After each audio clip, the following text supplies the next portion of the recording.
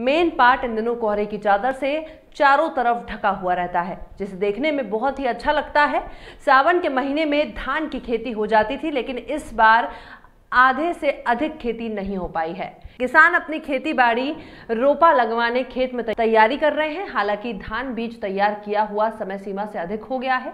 पानी न गिरने से धान गाछी लगने का समय 20 से 22 दिन के अंदर लगाना रहता है और पानी और पानी नहीं गिरने से 30 से 35 दिन खेत में ही रह गया है, जो रोपा रोपाई नहीं हो पाई। लेकिन सोमवार रात से पानी लगातार गिर रहा है। पानी गिरने से सभी किसान अपने अपने खेत से लेबर के साथ नज़र आ रहे हैं। हालाँकि पानी तो गिर रहा है, लेकिन धान की गाछी तैयार किए हुए लगने का अधिक समय हो गया है।